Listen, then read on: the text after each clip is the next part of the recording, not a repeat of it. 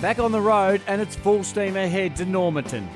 Exploring this region is an exciting experience and perfect for the four wheel drive enthusiast and outback adventurer. As I've mentioned plenty of times, always be alert as the amount of outback animals along the road is very continuous. Awesome, but continuous. We arrive in Normanton and set up camp at the Gulfland Motel and Caravan Park.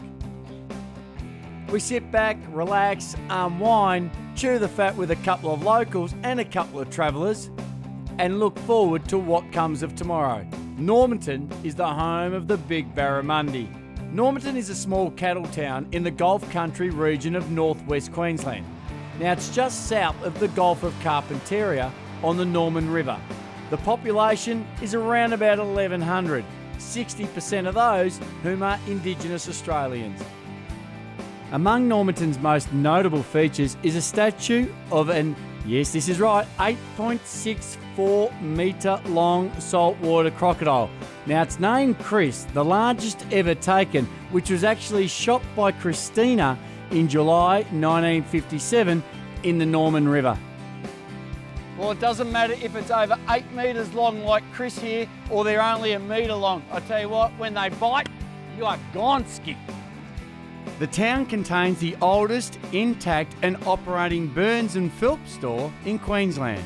The General Mercantile Store and Agency Office was opened in 1884. Now tourism has taken over and it is now an information centre.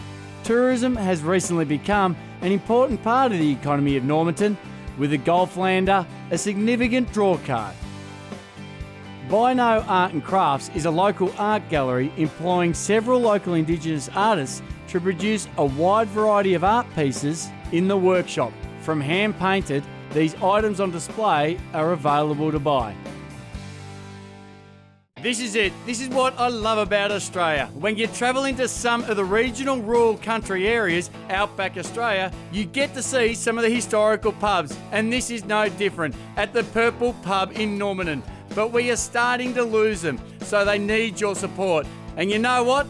I've given them a fair bit of support over the years. But I've always said, no matter where you are travelling or when you are travelling, the best way to get information is ask the publican or the locals at the best pub in town. We stop off at another historical site.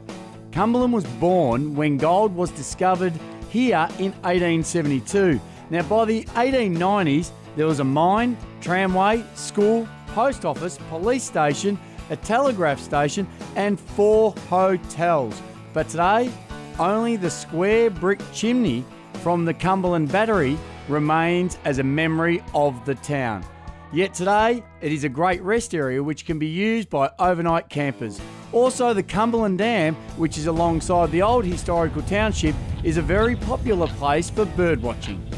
The great Australian doorstep.